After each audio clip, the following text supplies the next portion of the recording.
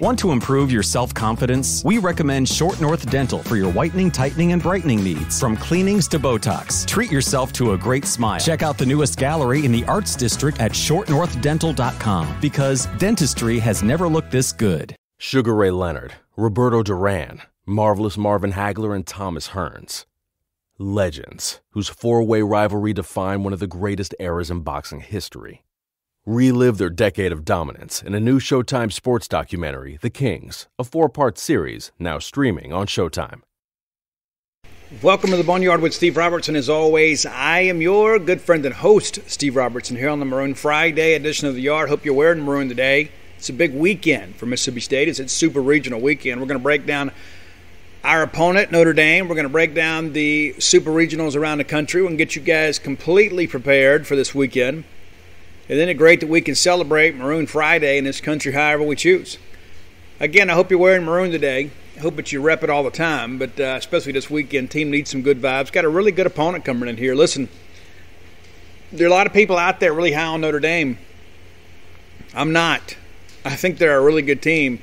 I don't think they're a great team. I don't think they deserve nearly the press they've gotten from some people in the National College Baseball media well, we can all just still agree to disagree and still be friends. I, I think that they are a tad overrated, and I'm glad that the NCAA selection committee uh, kind of saw through some of that and said, hey, let, us not reward them for not playing non conference games. As I mentioned you guys on the show a while back, it wasn't an ACC rule.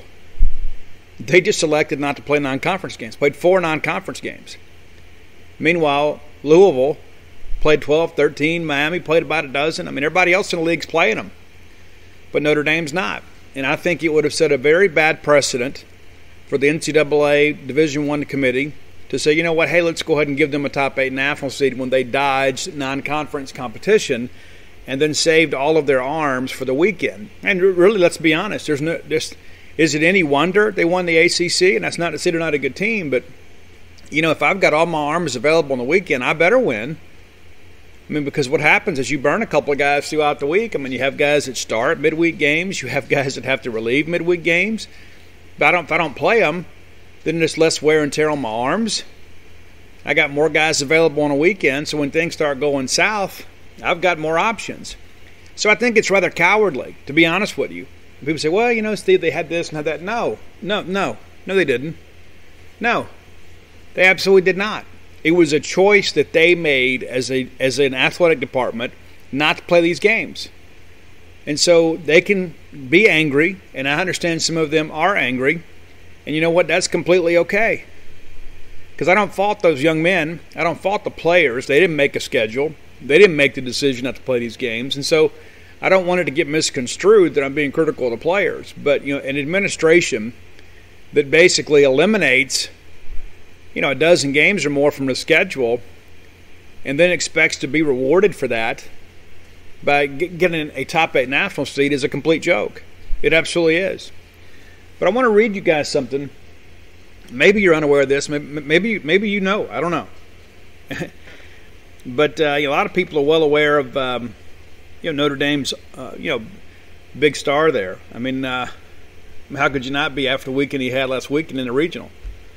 Notre Dame first baseman Niko Kavadas hit five home runs in the regional last weekend. That's a heck of a weekend. And they feasted on some bad pitching. They did, and uh, you know give them credit for doing that. But uh, it wasn't like they were play, you know facing major competition. But um, you know Kavadas made some comments that uh, have gone kind of gone viral. Maybe you're unfamiliar with them, but um, he says, hey, we, we feel like this next weekend should have been here, talking about the Super Regional. That's going to light a fire under us, and we're going to find a way to go into Mississippi State and go 2 and 0. That's what he said. Now, maybe he's caught in the moment.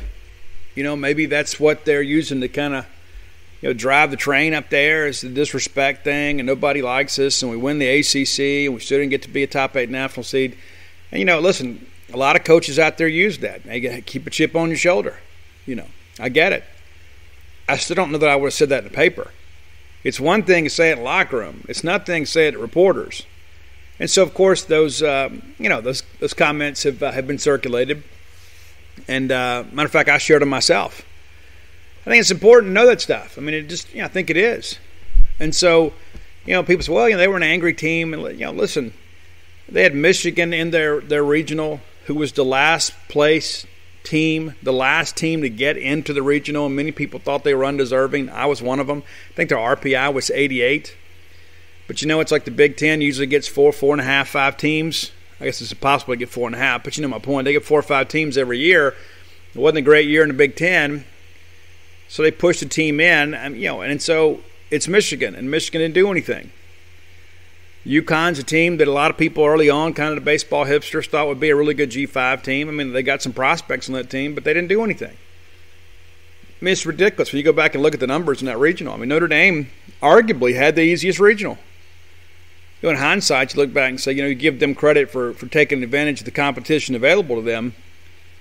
But you've got, you know, some really bad teams in your regional. You better go blow them out. And they did.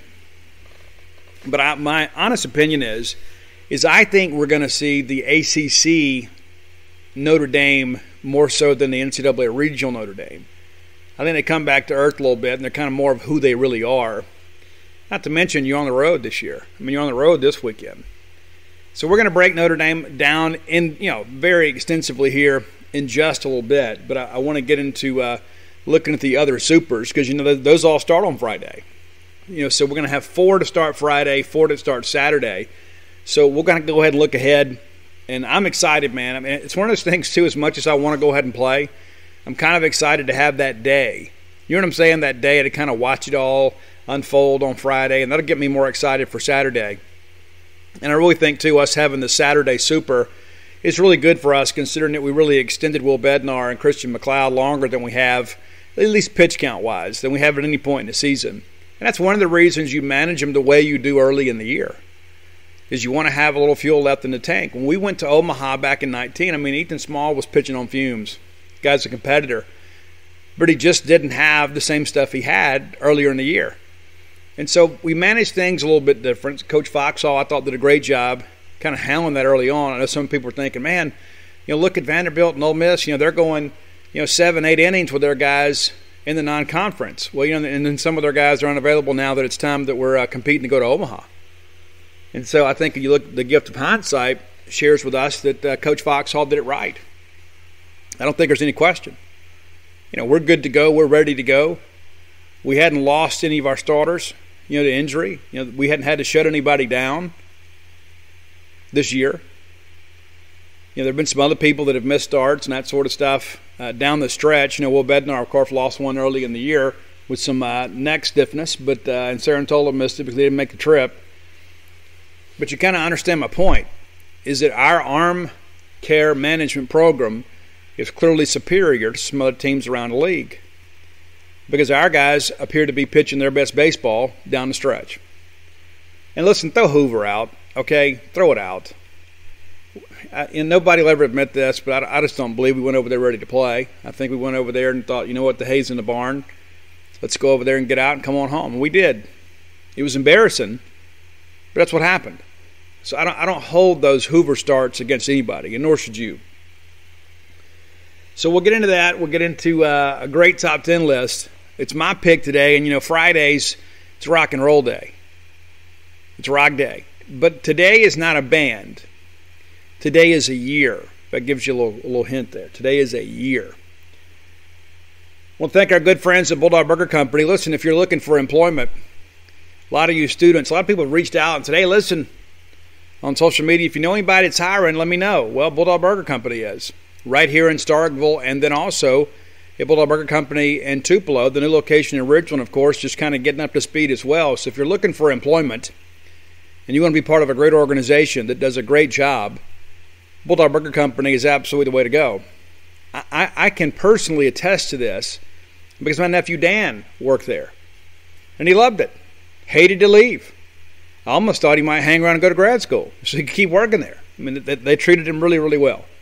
Matter of fact, uh, the day that Dan got married here a couple weeks ago, I got a message from uh, John Bean from Bulldog Burger Company and says, "Hey, please offer uh, Dan our best." And so, great people and listen, it is not just a great place to work, it is a tremendous place to eat. Go by there, find your own favorites. Go by and check them out right here on University Drive in Stark Vegas, Gloster Street in Tupelo, and then Lake Harbor Drive there in Ridgeland. Easy to find, man. It's great. Have the spring rolls. They'll make you and everybody around you better looking. You know exactly what I'm talking about. We all need more of that. Some of us need it more than others, including yours truly. I don't have all these tattoos and long hair for nothing. Uh, so go by, check them out. Bulldog Burger Company, the place where people go to meet. M E A T. All right, so all the action gets underway later today on the left side of the bracket. That's the Arkansas side of the bracket. Of course, we're on the Texas side of the bracket. I guess if we want to be homers, we can call it the Mississippi State side of the bracket. So the left side is the Friday day, the Friday uh, series. It begin today, I can ever get that out. So we'll start at the top of the bracket. Arkansas playing NC State. You know, I like Arkansas here and it's not because I don't think NC State's a good team. I, I, think the I think the ACC is above average this year. I don't think it's a great year in the ACC. I know some people have suggested that. I think the first round of the tournament kind of shows that um, you know there wasn't the depth in that league perhaps that we thought. But I do think NC State is a team that's capable of going up there taking the game. But it is so difficult to beat Arkansas in their ballpark. I mean, that team is built for that park. They've got a lot of left-handed hitters. they've got the short porch and right. It is a tremendous baseball atmosphere. If you've never been, uh, you should go. Be careful wearing maroon, though. nah, it's not that bad. But uh, yeah, it's a good time. But here's the deal: in Arkansas, it's it's just like at Mississippi State, where if you're unfamiliar with playing in front of those crowds, and listen, I get Bill, I'll play with big crowds before. There's a big difference between 4,000 people and then 12,000 people or 10,000 people. It's a big difference. And very few of those people are rooting for you. You got a few fans there, and they're kind of scattered around. Your mom, dad's over there behind the dugout. You boot that ball around because the crowd got to you. You can look up there and blow her kiss. But, you know, it is a difficult place to play. It's been a difficult place for us to play over the years. And they've done a great job there. Dave Van Horn's done a great job cultivating a program there. It comes in from Nebraska and Arkansas. It had been a good team, but uh, he's made them an elite team. You know, the team that we've had to kind of contend with here the last few years. And so I have a respect for them. I hate losing to them. I know some people say, oh, I mean, you guys hate Arkansas. I don't hate Arkansas. I like it when they lose because, you know, we're chasing them for an SEC championship. But it's not anything personal for me. I do respect him as a program. I respect Dave Van Horn as a coach, even though there's some times I've, I've heard some stories and conversations that he's had that uh, that are, you know, probably not conversations I'd want to have with him. Even when he came to Starkville. But I like Arkansas at home. I think in order to beat Arkansas, you're going to have to get them at Ameritrade. I think you got to get them in that big ballpark with the wind blowing in just a little bit. I don't think they have elite pitching. And what they do have, though, is tremendous defense. They are so incredibly strong up the middle with Christian Franklin in center and then you know Bob Moore there at second. I mean, they are really really strong up the middle. And so if you're going to beat them, you got to hold them down offensively. And then you got to, you know, take advantage of your opportunities to manufacture some runs. I mean, you, I just don't think your team you, you can be able to go up there and outslug them. But one of the things I think is interesting is people say, well, you know, Steve, you keep talking about that big ballpark. Well, let's take a little closer look at something here, okay? So they beat up a pretty average Georgia team the first day of the SEC tournament, pretty good. I mean, they, they really did. They got after them pretty strong, 11 to 2 ball game there. You know, just kind of looking at some numbers here too, because I think it's important to kind of look and see how this this ball game actually went. You know, for the most part, they kept them in the yard. I mean, there were a couple of home runs. I guess um, uh, Georgia had one. They had a home run in the ball game, and uh, Arkansas had one. But that's it. You know, it wasn't like they're out there playing, you know, home run derby like they were against us when they came in here. And so you just have the one home run from them. And so they kind of beat up, you know, Georgia because, you know, Georgia was kind of beat up down the stretch too. You remember Ole Miss went in there and really got the better of them too in that final series in Athens. Georgia kind of limped to the finish line, as you guys are well aware. Well, then you get into Vanderbilt. Now, granted, you're going to be, you know, playing Vanderbilt, right? But you win a ball game, it's a 6 4 ball game. It's a manageable score. Saturday, you play Ole Miss, it's a 3 2 ball game. And so what happens here is you start keeping people in the yard, and you got to play a little baseball. You got to play a little baseball. And that's the thing that I look at when I get excited about this is like, you know, you look at this Arkansas Vanderbilt game, You know, the one home run hit in that ball game was hit by Vanderbilt. Arkansas didn't hit a home run. And so these teams that are dependent on the long ball, those teams struggle in Hoover and, in Omaha. You know, you, but you got to go out there and play baseball.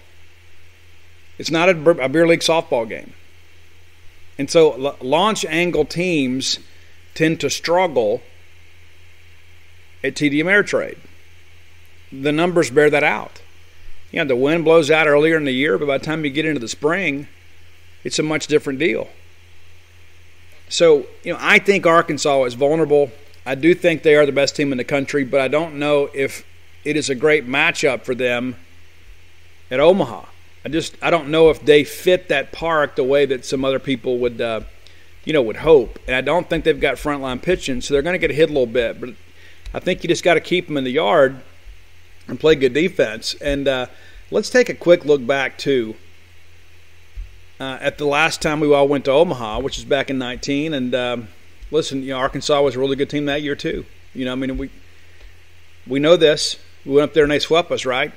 And uh, we were looking forward to playing them. But you know, we took a little glee in the fact that they were the first team eliminated. But let's just go back and look at those numbers because you know their record this year is not much different than it was then. So they go down to and they play Florida State and get beat one nothing. That's right, one nothing. And then they lose to Texas Tech in their second game, five four. So they go to Omaha and play two games and score four runs. I'm not saying it's going to be that way this year, but I think those scores are going to be a lot lower. Just because I don't think they're built for that park. I think they're built really well for their park, and they play really well in offensive parks because they swing it. They're dependent on a long ball. But I think they're vulnerable in Omaha.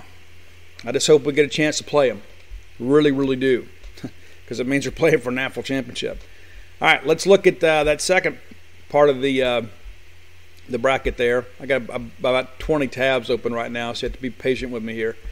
So I like Arkansas to beat NC State. I'm going to call it two games to one, Arkansas.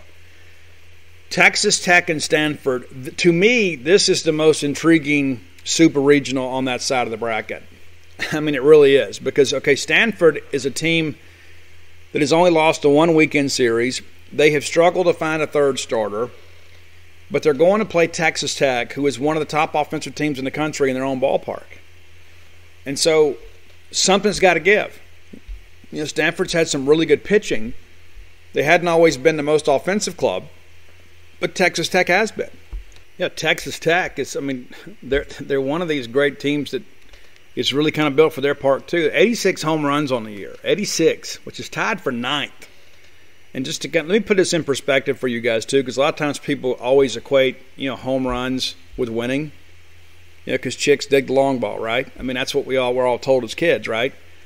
Well, you know, I don't always win. Let me run down the top ten here for you. So uh, some of these teams no longer playing. Some are. The team that led the nation in home runs, Old Dominion, out of the tournament. Then there's Arkansas second. Dallas Baptist is third at 97. That's a bit of a surprise. Number four, Mercer, didn't make the tournament. Tennessee at 92. Um, they're obviously still in. Wake Forest, 91, not in the tournament. Kansas State, 89, not in the tournament. LSU, uh, kind of a sympathy pick in the tournament, 88. Auburn with 86, didn't make tournament.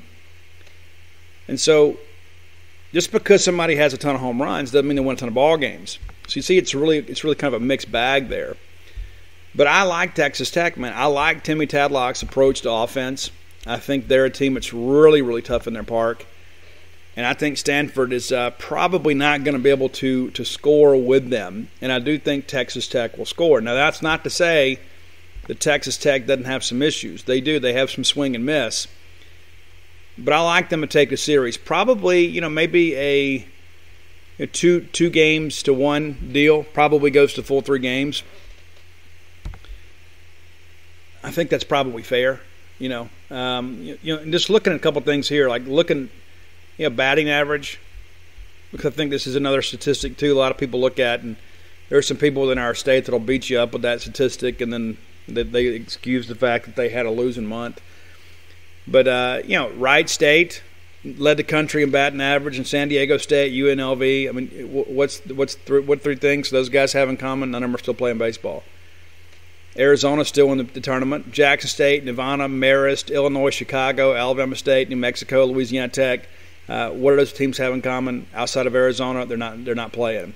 Bryant, Western Carolina, Campbell was 14.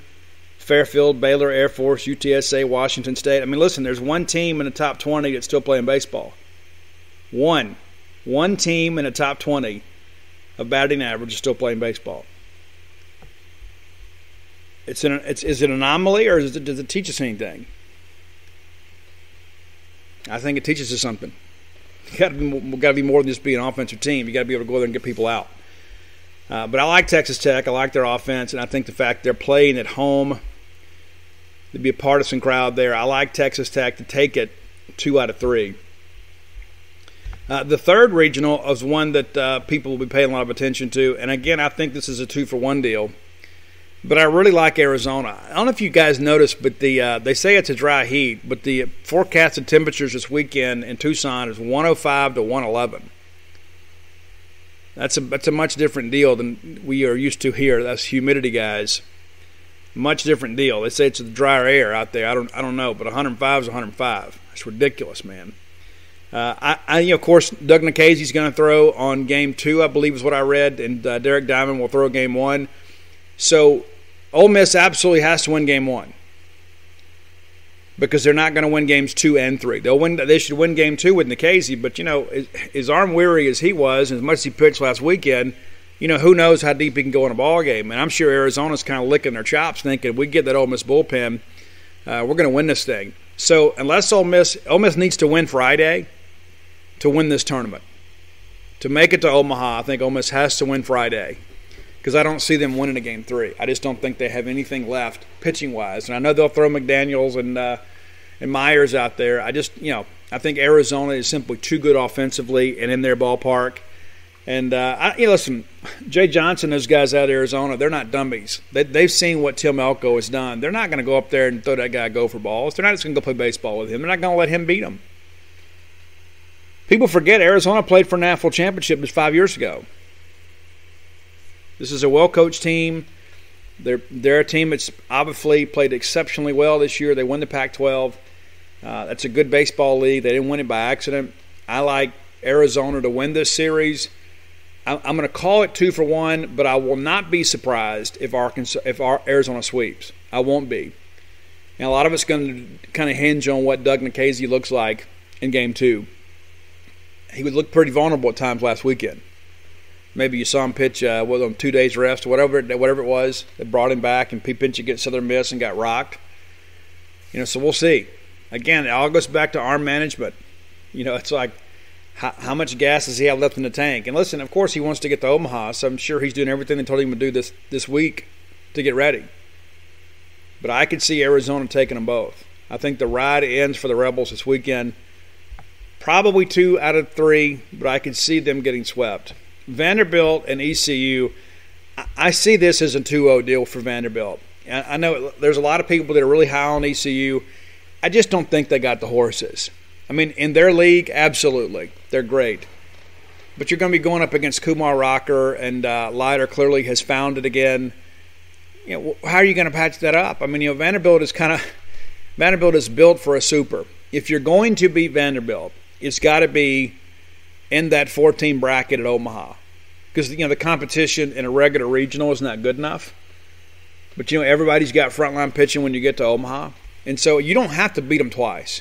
You just have to have them lose twice. So you beat them once, and then all of a sudden somebody else plays them in a losers bracket game, then they beat them and they're out of the tournament. And so it's not as simple as okay, well, we got to go win two out of three. You just got to beat them once, and hope somebody else can pick them off. And of course, they come back through the losers bracket you'd have to beat them a second time. But as they have shown, the depth in that pitching staff is virtually non existent. Once you get to Maldonado, you know, they're pretty average. So, yeah, I mean, if they were on my side of the bracket, I'm sure Arkansas thinking that way too. It's like, hey, listen, you know, we, we play them in game two uh, in Omaha, we probably won't see them again until after probably you know the end of the weekend, and they're going to be throwing some midweek guy. We're going to be able to rock those guys. So I don't see Vanderbilt having any trouble. And I had said early on this year that I thought Vanderbilt was really vulnerable and they might not make it to Omaha, but I think based on the matchups, they'll make it. They'll make it. And so on the left side of the bracket, I have Vanderbilt, Arizona, Texas Tech, and Arkansas advancing.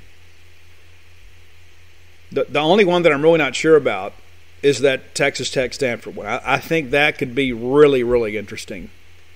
I mean, we listen. We know what kind of program Stanford has. We played them two years ago. They, they weren't as good as us, but you know what? We were probably a better team back then too than we are today. But this Stanford team is intriguing. They really are. And the fact that uh, they only lost one weekend all year kind of makes you realize that they're going to be able to manage this thing pretty well. They'll just kind of go back in their regular routine. So I could see them taking the series. But I like Texas Tech at home. They're kind of like Arkansas at home. You know what I'm saying? They they know where all they they know where the holes in the fence are. You know, they just know. And I think they're a team that is so difficult to beat at their place. They're not a great road team, but they're awfully tough at home. All right, let's look at the other side of the bracket. The Mississippi State side of the bracket. We'll start with Texas. Uh, probably got uh, as good a draw as anybody because of the upset. And they could have placed Florida or Miami.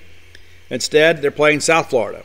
And you know what? Good for the Bulls, man. And it's good for the game of college baseball for somebody like South Florida to make the Supers. I don't give them any chance at all of beating Texas, especially in Austin. You know, Madden is just too good. That's a win right out of the gate. And if it goes into a game three, I just don't think USF is going to have the pitching.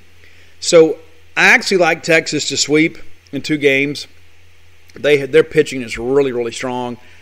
And granted, USF won the regional, but let's be honest, it's not a, a great Miami team. And Florida has underachieved this year. So it's not a surprise that Florida got upset based on what we know in hindsight. But South Florida has probably gone as far as they can go. Virginia and Dallas Baptist. I'm, I'm gonna I'm gonna make a call here, and, and maybe I'm not really calling out a turn here. Dallas Baptist is going to win this thing. There's a couple reasons that I would say this. Number one, I think Virginia is a team that has gotten hot late I don't know if they can kind of sustain that. But Dallas Baptist has been good all year long. You know, Indiana State was right there on their heels the whole time through. And you said, well, Steve, it's Indiana State. It's still in their league. It's comparable competition. You heard the home run numbers. You heard the batting average numbers. Dallas Baptist is an offensive team, and UVA does not get the benefit of a home field advantage. This is going to be played on a neutral site at Columbia, South Carolina. And so on a neutral field, I think you got to go with the more complete team, and that's Dallas Baptist. Dallas Baptist for years was kind of known more as a pitching team. That was kind of their calling card, right? And so now all of a sudden they've got the offense to go with it. And I heard it said earlier this week, I can't remember who said it, said, you know, Dallas Baptist is an Omaha team that just hadn't done it yet. Now, getting to Omaha, I think, is going to probably expose a few chinks in the armor. Uh, but I like them this weekend. I, listen. I know Virginia gutted out that big win on Tuesday. It was an incredible ball game. It really was. But um, I think the road ends for them. I do think it goes three games though. But I, I think again too. I think it's good for the game of baseball for Dallas Baptist to make it. Because in order for us to expand the game, in order for us to get more votes, for more funding, for more scholarships, and paying the third assistant, you need more teams like Dallas Baptist to break through. You just simply need that. Because that gives hopes to other teams around the country that are G5 schools. Say, you know what? Hey, they can do it. We can do it. Coastal Carolina won a national championship. Fresno State won a national title. They're not traditional baseball powers. And so every so often, you, you need like a Gonzaga or a Boise State to kind of rise to the top every once in a while, like it did in basketball or football. You need one of those mid major teams to go out there and be successful to keep the rest of those leagues engaged. They can think, you know what, maybe that's us. If we spend some money on this, that could be us. But I really like this Dallas Baptist team. I like them to win that regional in Columbia. I do think the Hoos will have some fans there, but it won't be anything like what it would be if they were in uh, Charlottesville. I think the most intriguing series on this side of the bracket is Tennessee and LSU.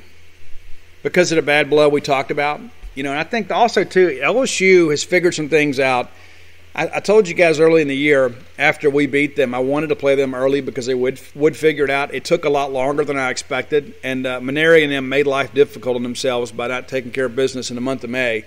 Really expected them to stack up some wins, and they lost some games they shouldn't have. But uh, they have found something, and uh, you know maybe it's the fact that Mainieri's retiring, they're playing for him or whatever.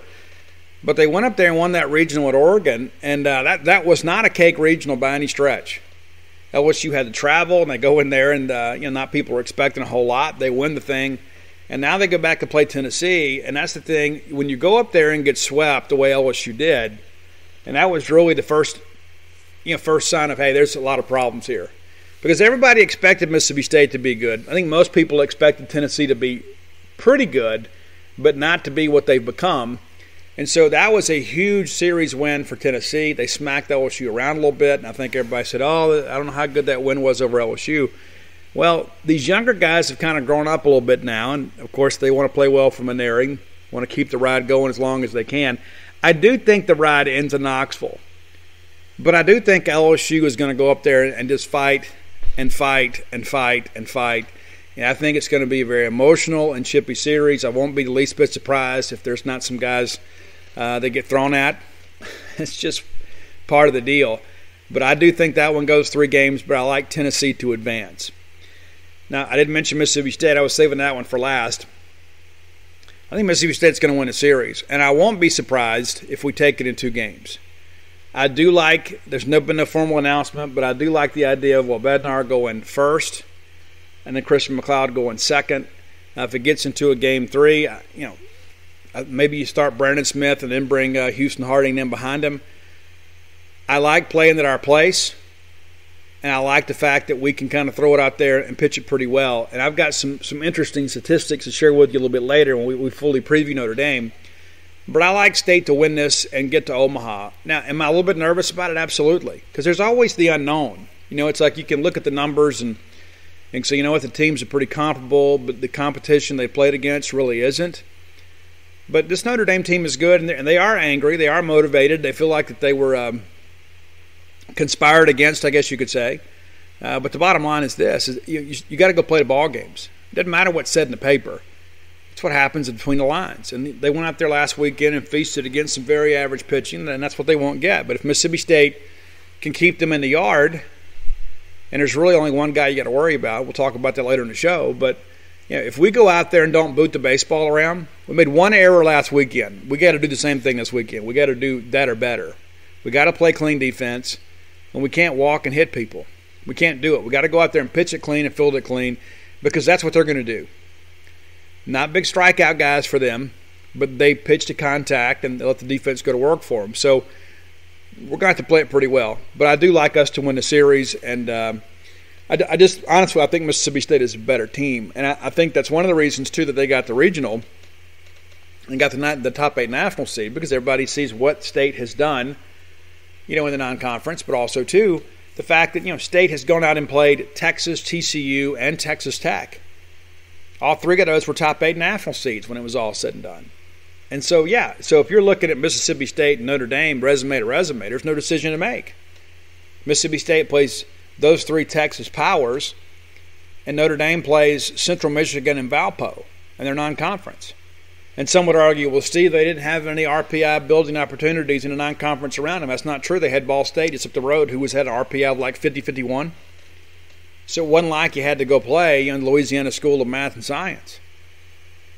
Those are the things that just, again, begin to puzzle me. And again, it's not the players' fault. It's the administration's fault and they're the ones that are having to do it. But you know what, Notre Dame? I mean, listen, you're about to get a chance to go play college baseball and have a chance to advance to Omaha in the greatest baseball stadium in the country. All right, let's talk top 10 list brought to you by JohnnyPacker.com. They tell me that their website traffic is way up thanks to all you guys. I appreciate that very much. Thank you for supporting them. These are Mississippi State folks that are working hard to provide you with a quality product at a reasonable price and also do a great thing for the Cystic Fibrosis Foundation. As I've shared with you guys before, you go look at the website, whatever frames you want, it doesn't matter if it shows sold out or not. If they do, they show sold out, hit that contact us link and let them know, they will get them on order for you. They turn it around very, very quickly. Also of note too, by being a Boneyard listener, we'll save you a little money. Use promo code Boneyard. That'll get you 10% off your purchase. And if I told you guys before, a portion of every purchase goes directly to the Cystic Fibrosis Foundation. John C. Packer himself has struggled with CF his entire life. Now he is trying to use this venue uh, and this venture to provide a higher quality of life for people that suffer with cystic fibrosis. So if you're looking for quality sunglasses, and you absolutely should, these are great sunglasses. They don't pinch your nose, they ride your face well. I've got some here, I can tell you, they're grand.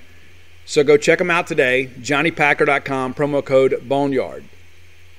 All right, let's uh, get top 10 list. I told you guys too, this is going to be a different list. So we're going to do top rock songs released in the year 2000. And you're going to say, Steve, really? Yeah, yeah, really, because there were some legendary songs from some legendary bands that were just kind of getting started back then that were released that year. And some, this was, a, I'm going to be honest with you, this was a difficult list to rank. Like, I had a pretty good idea, maybe 15, 16 songs I wanted to include. And then I had to kind of figure out, okay, how do I run down 10 and what's number one? So I tried to go with more towards the end of the list you know, the, the one, two, threes, and fours. I tried to go with songs that really kind of shaped careers.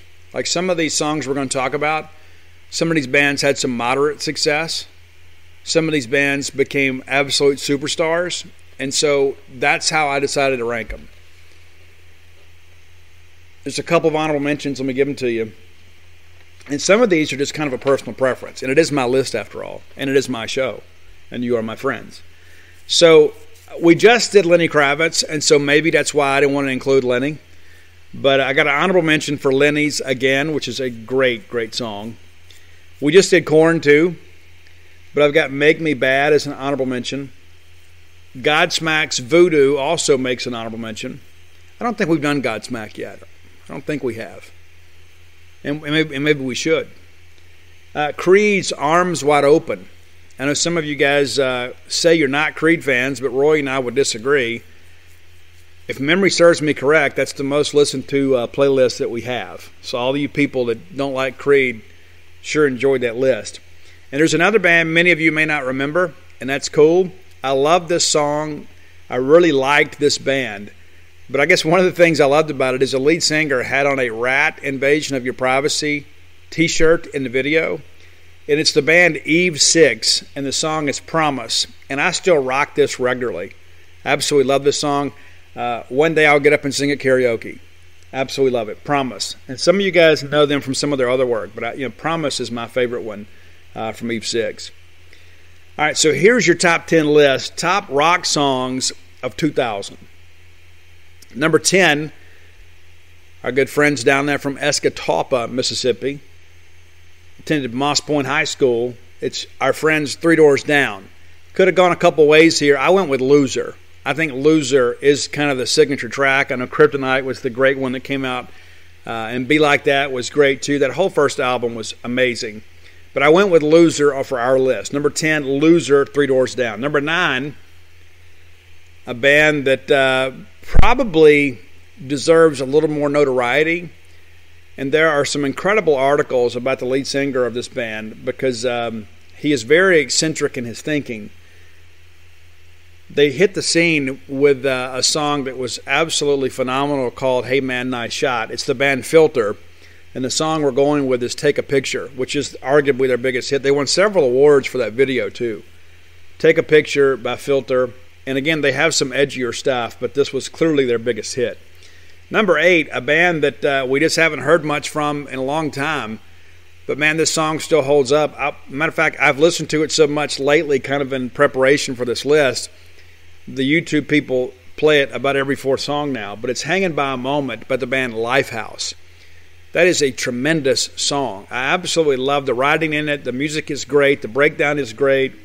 There's nothing about that song that I dislike. I, I think it is darn near perfect. Hanging by a Moment by Lifehouse. Number seven, and this band has kind of lost some favor with rock fans because the new metal movement, of course, is uh, people kind of look back at that kind of like they do uh, bell bottom shoes and or bell bottom pants and platform shoes and all that sort of stuff. Uh, they're actually going to be one of the headliners at Rocklahoma this fall. It's a Limp Bizkit.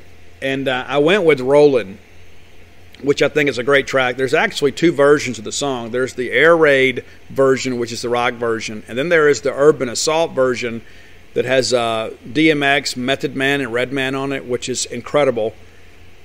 If you don't like the Wu Tang Clan, I don't know if if we can be friends. But uh, so I like the fact there's a couple different versions, uh, but we're going to go with the Air Raid vehicle version here, uh, Rollin'. Number six, one of the most popular bands in the history of the world. It's Metallica, and this was a single off the S and M uh, album they did, which is they performed, I guess, with the San Francisco Symphony, and, which is phenomenal.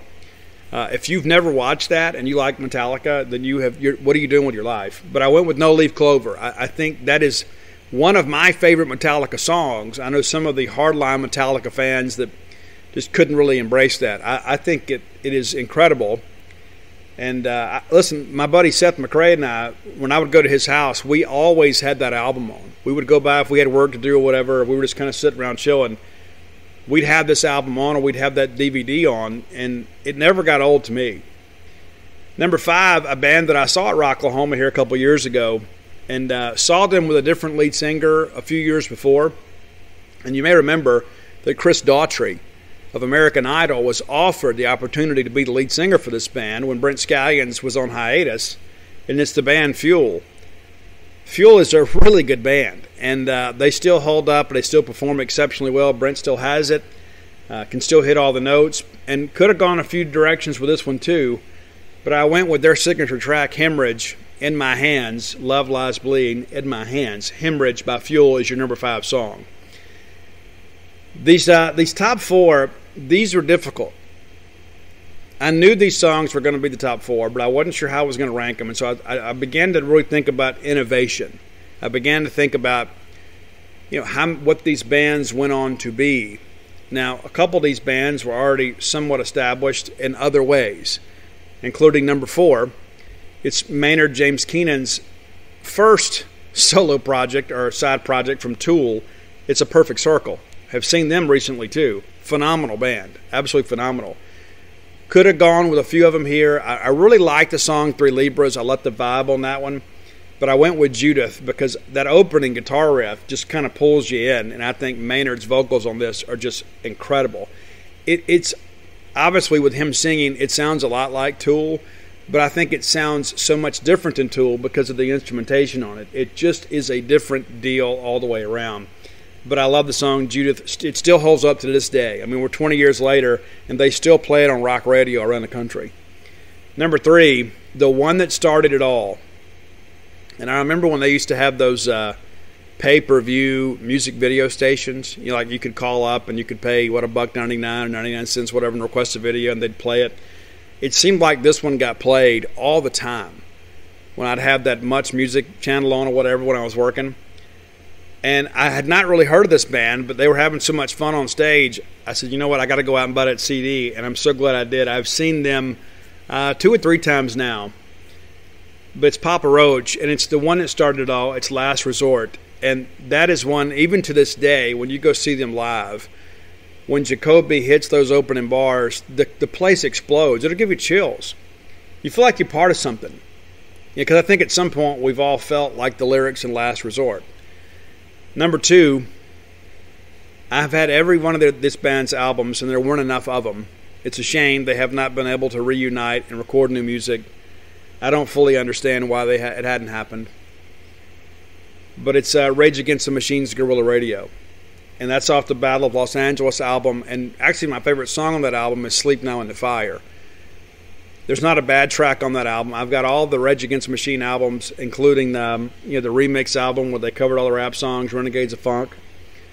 But Rage, obviously one of the most important bands of my lifetime.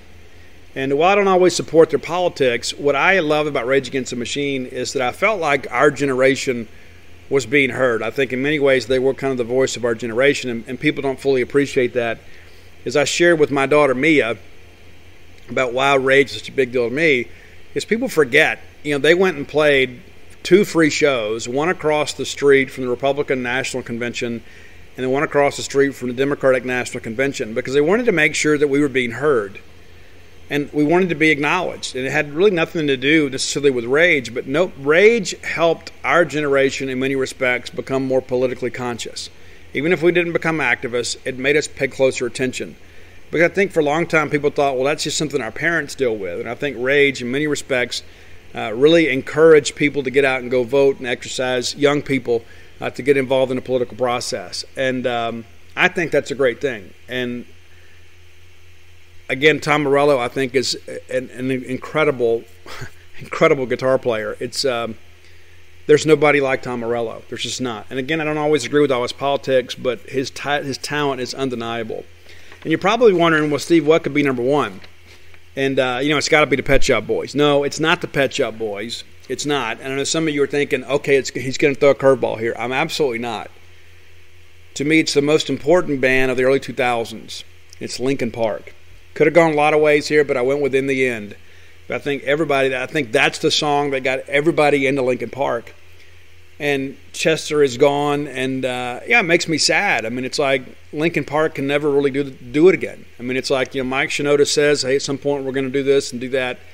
It's uh, it's just really a shame and uh, you know, Chester was a guy that was tortured by a lot of things and was never really comfortable in his own skin. And, and Linkin Park allowed him a chance to kind of process some pain. And uh, one of the things that uh, I watch sometimes when I'm feeling a little bit melancholy is after Chris Cornell died, and Chester Bennington uh, was a very good friend of Chris Cornell's.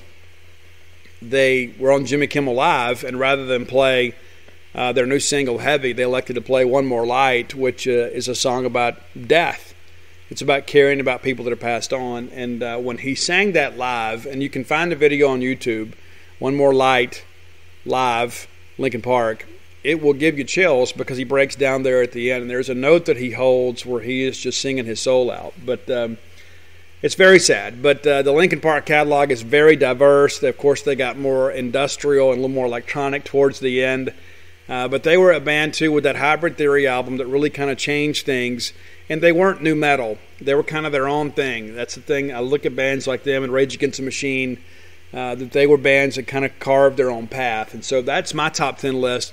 Best rock songs from 2000. And you will notice there are a couple bands that maybe you like that are conspicuously absent. It's because I don't think they're any good. And so I'm, I'm just not going to even acknowledge them by giving them an honorable mention or mentioning the names.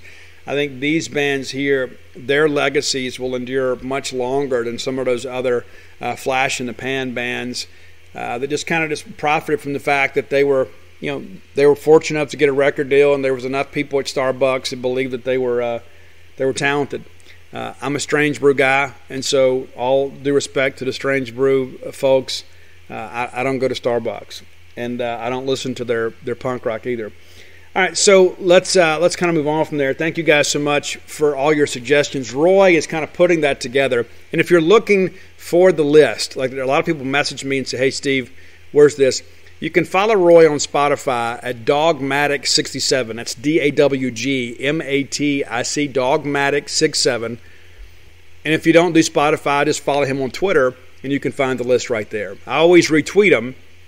so but Roy's not a big tweeter, okay? So it's like if you follow him, he's not going to be spamming your feed with pictures of his food or, you know, he doesn't have videos of him and his dog skiing or anything like that, which would be kind of cool if he did. So if you want to follow Roy, that's cool too. Uh, make it easier to find those lists, and because so, he gets them out sometimes before I have an opportunity uh, to share them with you guys. But uh, appreciate Roy had a chance to visit with him and his wife uh, last weekend during the regional, and hopefully we'll get a chance to do it again soon. But um, that's top 10 list. Really happy with this list. We've been kind of kicking this around for a couple weeks, but um, Roy has got your suggestions, and I've had some people have some really good ones, some non music ones too, and we'll get to that um, here in the next few weeks. So keep sending those suggestions. Many of you don't, you know, you, you forget we've already done some bands, but don't worry about it. Send them anyway. I'll just let you know if we've already done it, and if need be, I'll even send you the list so you can enjoy that too. But uh, we listen. Thank you guys so much. I have so many people that come up to me you know, at ball games or gas stations or restaurants, whatever, and say, "Hey, Steve, I love a top ten list." It's introduced me to a lot of music or reminded me of a lot of music that I used to love, and so uh, that's a wonderful thing. There have been times in my life where music was my only friend. And so, anytime that I can share tunes with you that are meaningful, I think that's a great thing. And it reminds me too, uh, you know, one of the things we I've considered doing on the show is like give like a new artist of the week or whatever, you know, but I don't want to skew too much toward music. But there was we do I do a Facebook live show about once sometimes twice a week. Sugar Ray Leonard, Roberto Duran, Marvelous Marvin Hagler, and Thomas Hearns. Legends, whose four way rivalry defined one of the greatest eras in boxing history. Relive their decade of dominance in a new Showtime sports documentary, The Kings, a four part series now streaming on Showtime. Meijer brand snacks promise the great value you expect with a quality guarantee in every bite. And summertime snacking is our most favorite snacking season of all because Meijer brand makes it deliciously easy. From new lemonade flavors to classic ingredients for backyard s'mores to creamy ice cream varieties like new limited edition Purple Cow by Meijer Very Berry Americana with ribbons of real strawberry and blueberry swirls waving in creamy vanilla ice cream. Stop into Meijer and discover big taste and bigger savings on Meijer brand summertime snacks. And we do a song of the show. And I was reminded of this great song by this band. that I don't even think they're still together anymore, but it's a band called Angels Fall and there is a kind of a lover's lament song that is so great. It's called uh, "Drunk Enough." It's like I'm drunk enough to finally tell you what I, I meant to say. It is a great tune. That was our song of the show on the Facebook Live show. And listen, if you want to get involved in that, I do a Facebook Live show again about once a week, and uh, answer everybody's questions and that kind of stuff. We interact, have a good time. Go like our Facebook page. That's the Bulldogs two four seven Facebook page. That's Bulldogs D A W G S on 247 Sports, and uh, you can keep up with that. So uh, let's move forward and kind of get into Notre Dame here. This segment of the show brought to you by Campus Bookmart. Uh, I, listen, I went to um, at a book signing at Book Mart Cafe, and so while I was there, I had a chance to visit with Stan Ray and Miss Kathy Brown. Uh, I didn't see the lovely, talented Susie, so I guess if I want to see her, I got to go over there. I did, however, buy the Superdog shirts and uh, the regional shirts. Got both of those, and listen, they're great. And so they got gray and they got maroon, and so you've got some options in the colors, but the quality of the shirt is tremendous. And so if you were kind of holding out hope or thinking, hey, on my way into town, I'm going to swing through there and pick up those super regional shirts, the super dog shirts, you can go ahead and do it. Now, these super dog shirts are only available for a limited time. Like this is the only time of the year that you can buy those. They don't make them all year round. It's just specifically made for this time of year because of the fact that we made it super regional. It's not licensed the rest of the year. So if you want one of these shirts, you better move pretty quickly because supplies are limited. And again, once they're gone, they're gone. They're not going to be around for Christmas. Okay, so go ahead and move in there and get those shirts. It's the Super Dog shirts and the regional shirts. Uh, those regional shirts are outstanding. They got the M over S on it. It looks great. Uh, yeah, I, I, just I'm I'm always so amazed at what a good job they do uh, through licensing to get these great shirts out there for our, our Mississippi State uh, family because there were years and years and years that you know you couldn't get cool shirts about Mississippi State. You just couldn't do it. It'd just be like two shirts that you could order online. and That'd be it it's not like that anymore. And I think our fan base, in many respects, has kind of grown up, and and uh, people are kind of paying more attention to us. But the folks at Campus Bookmart, always ahead of the game. Go by, check them out. And if you can't make it to town, you can order those Superdog shirts or the regional shirts or anything else your heart desires at campusbookmart.net. And by being a loyal Boneyard listener, we'll give you a phrase that pays, and that's BSR, which stands for Beautiful Steve Robertson and that'll get you free shipping on all orders over 50 bucks. Any order less than $50, absolutely incomplete. That's again, that's campusbookmart.net. Let's look at the Irish, shall we? Now we have played more games than them, you know, so the raw numbers are not going to be comparable. But you know, things like averages and ERA, uh, that stuff's going to be you know similar. But you're you're going to be amazed at how closely matched we are with Notre Dame. Now, I'm going to run some numbers for you here, real quick, and then we'll kind of get into the schedule some. Notre Dame is a team hitting 281. Opponents are hitting 241 against them. But let me let me run this. I think you'll find this interesting. They're hitting 281. Mississippi State is a team. What would you guess? How about 283? yeah, it's crazy, isn't it? Uh, Mississippi State has stole 65 bases in 80 attempts. Notre Dame has stole 65 bases in 88 attempts. now they're running a little bit higher rate because they play less games, but it's it, it's just it's intriguing to look at those numbers and kind of see it the way that it is. Uh, the Notre Dame team ERA 3.80. Pretty good, huh? 3.80. The Mississippi State team ERA 3.87. I mean, it's it's uncanny. Now, there's some numbers, obviously, when again you get into the raw numbers that that are going to be more favorable to Mississippi State because we have played more games. But when you look at the, those kind of numbers, you begin to look at it and say, you know what, this is this is pretty decent. One of the things that does kind of stand out, though, is uh, fielding percentage. fielding percentage. I don't even think I need to give you the number. I think it's pretty obvious that uh, you guys would know that uh, we haven't always fielded as well as we should have um, and we certainly haven't. But fielding percentage, we are 973 as a team, 973. Notre Dame, uh, a good bit better than us fielding. Looking at their numbers here, fielding percentage as a team is 984. So uh, a big difference for sure. So, you know, they're not going to give us much.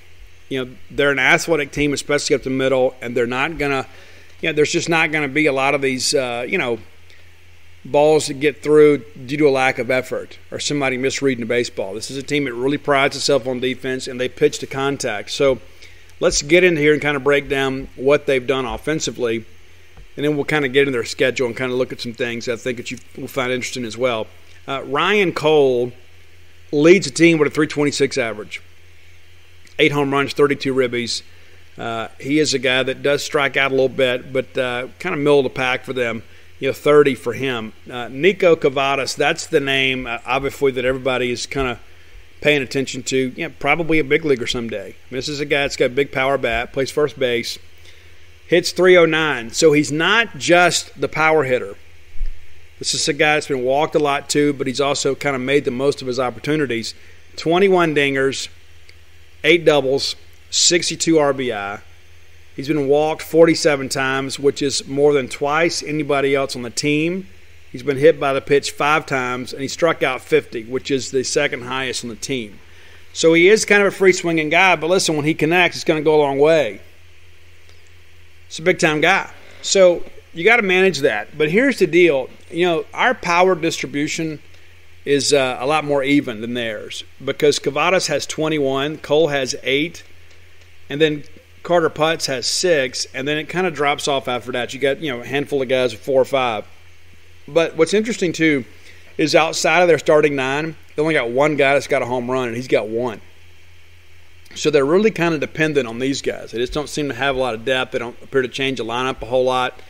They just kind of put their starting nine out there and kind of run with it. Uh, Carter Putz, of course, another guy that's hitting over 300, 307, uh, six home runs, 40 RBIs the best the best stolen base guy on the team is Spencer Myers, and he has a bit of a hamstring issue. He was injured last weekend, played center field for them, uh, left the game with a hamstring injury, and that is very significant. And so, not exactly sure of um, you know his health. I'm sure that he will play, but there's a good chance that he'll be less than 100 percent. They hadn't talked a lot about that, but I, I kind of keep my ear to the ground and uh, you know we'll see how things progress. I'm sure they've given him treatment all, all week long, but um, that those hamstring things can be stubborn to deal with. And so he is their center fielder and their best stolen base guy. So if he is maybe a half step slow, maybe that you know reduces the opportunity for them to kind of advance a base there. They do have another guy too that's got double digit steals, and that's Brooks Coetzee, who is 11 of 13. Uh, Brooks also guy that's in the everyday lineup, has played uh, 41 games for them out of 44. So that's kind of what the offense looks like there. But yeah, again, this is a team, you know, not just lighting it up offensively, but not a team you look at and say, you know what, they're not scoring. Because you look at what happened last weekend, and it looks more like an anomaly. It really does. And as we run down some numbers, you'll see what I'm talking about here. Again, I think they were angry and motivated, and they're playing at home against less than stellar competition and the others no bad teams playing, but I think Notre Dame kind of outclassed, uh, you know, who they played, and I think it shows. But um, you know, th- listen, this is a good team. There's no doubt about it. But they're they're not a team that you look at and say, you know what, these guys are head and shoulders better than us. It's going to be a very even matchup, and I think being at home makes a big difference. As a as a as an order here, they have struck out 374 times. You say, well, Steve, what does that mean, you know, for us? Well, I'll, I'll kind of put that in perspective for you. Mississippi State struck out 369 times. So again, it's one of those deals you look at and say this is this absolutely ridiculous. Where State really takes a jump here is on the pitching side of things. For, for those of you that are curious, Mississippi State pitchers have struck out 715 hitters. That's right, 715 hitters. Notre Dame pitchers have struck out 353. So basically half of what Mississippi State has done. And much of the pitching in the ACC is just not a swing and miss as what you get in the SEC. And certainly Mississippi State is the top of the food chain when it comes to that. What is interesting, too, about Notre Dame is much like their offense, they just don't move a lot of guys around when it comes to starts. They kind of go ride their guys. There's a handful of guys that have started some games, and obviously a couple midweek games in there too. But you know, Will Mercer is a guy that's got 10 starts. John Bertrand's got 13. Aiden Tyrell is a guy that has kind of been in the lineup here as of late. He's got seven starts.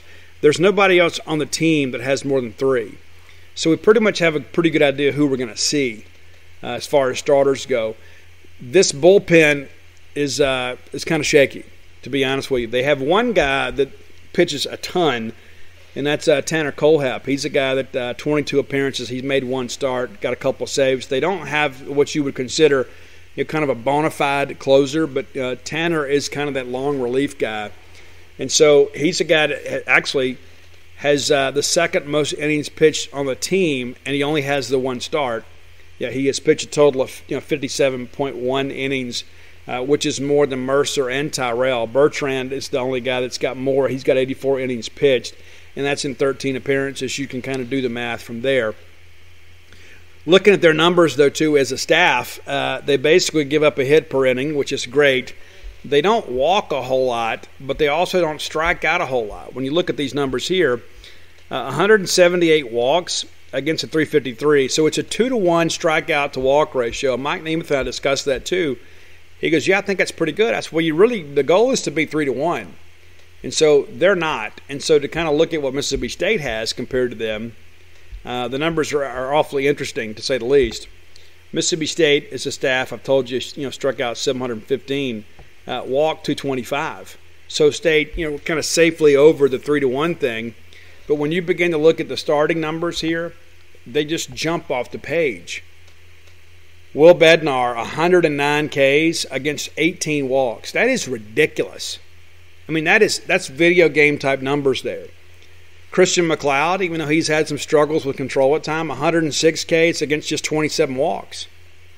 You know, where we've had issues has been you know, when, you know, some of our younger guys kind of skews things a little bit. But when you look at the numbers of our mainline guys, the strikeout to walk ratio is just incredible. Uh, looking at Brandon Smith's numbers, he has been sometimes unfairly maligned by our fan base. 38 Ks to just nine walks on the year. You know, so he's basically four to one, a little bit over four to one, to be honest with you. Uh, Stone Simmons, a guy that has pitched for us sparingly, we've been pretty good down the stretch, 27 and seven. You know, Houston Harding has had some issues at times. He's got 55 Ks against 15, but you know, you look again, it's over three to one. You know, Parker Stinnett is down a little bit. Uh, Landon Sims, just so you guys know, 78 and 13.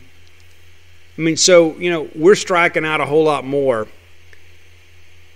than we're walking. They're not. Uh, we're allowing 221, a batting average of 221 against our pitching as a staff. It's a little different over at Notre Dame. It's 241. So opponents are hitting 20 points higher against them. Does that make a big difference? It's probably a hit or two per game. And I think in this as evenly matched as these two teams are, that's going to make a difference. Defensively, they're a little bit better than us, so we're going to have to play exceptionally clean. I think pitching wise, we're better than them. And I think we clearly have more depth. And I think offensively, basically what you've got to do is you can't let Kavadas beat you. You got to make somebody else beat you. And listen, they've got some good players. I'm not taking anything away from them, but they're not going to be better than anything that we've seen in the Southeastern Conference. They're just not. There's nothing here that really jumps off the page except for the defensive numbers and the fact that they just don't have a lot of depth in that bullpen. And so once we get in there, and I'm, I'm sure, listen, game one means everything, right? So, you know, I'm sure they're going to throw their best guy and then have Kohlhepp ready to go. But, but, but if for some reason you can get into this pen, I mean, there's some guys here that have some huge ERAs that have thrown some pretty big innings for them. Uh, Joe Sheridan has thrown 41 innings. He's got a 5.27 ERA. Uh, Dominic Cancelleri, 6.60. Alex Rayo is a guy that's been pretty good for him. Liam Simon has been decent for him. But there's just not a lot of guys in that pen that have big innings because they just kind of ridden the starters and then let you know Kohlhepp kind of clean it up there. So uh, I feel good about where we stand. I think the bottom line is, is we just got to go out there and play Mississippi State baseball. If we go out there and play within ourselves and do what we always do, we're going to win this series. And again, I think we can win it two games. I can't say I'm expecting that, and maybe that's just because I'm a little bit nervous because I know what's at stake. A berth to Omaha, but I just can't see them beating Will Bednar. And if MacLeod is on, I can't see them beating MacLeod. What does concern me is they have some left-handers.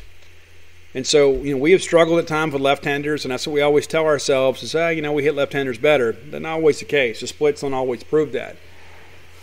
But we got to go up there looking backside. You know, all these left-handers, and you know, we got to keep Luke Hancock in lineup. I think you've got to keep Kellum Clark in there, but you've got to find a way to put the ball in play. I, I don't think these are going to be lopsided ball games. I think these are going to be like four to two, uh, three to one type ball games. I, I don't think that there's going to be a lot of runs scored. Now, now, of course, things can always change, but I just think the fact that they are so good defensively and we're so good on the hill that we're going to kind of neutralize some offense. And I think that's going to be a big part of things. Basically, you know, the team that makes the first big mistake is going to be in a lot of trouble.